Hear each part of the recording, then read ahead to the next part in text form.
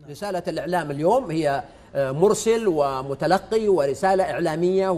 وأداة وهي أيضا تفاعل مثل ما لاحظت الآن وتلاحظ أنه أهم ما في الإعلام الجديد أنه أعطى الناس حناجرهم وأعطاهم الحق في أن يتكلموا وأن يعبروا وأن يحتجوا وأن يشاركوا في استطلاعات الرأي وأن يشاركوا في بعض الهاشتاجات التي تعبر أيضا عن رغبة جماعية في أمر من الأمور